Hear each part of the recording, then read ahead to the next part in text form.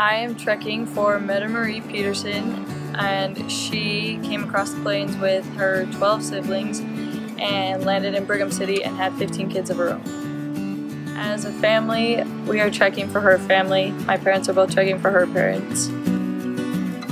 I am going on trek to learn how to rely on and trust in my Savior, my Heavenly Father, and to also learn how to recognize the feeling of having angels by our side when we need a little extra help that can only come from heaven. I am Lexi Goldsbury and I'm 18 years old and I will be attending BYU this fall.